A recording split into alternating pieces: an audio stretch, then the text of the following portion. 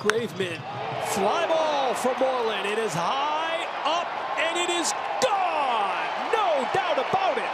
A two-run home run for Moreland, his second in as many games. And the Red Sox take a 2-0 lead. That is the second career home run that Moreland has against Graveman.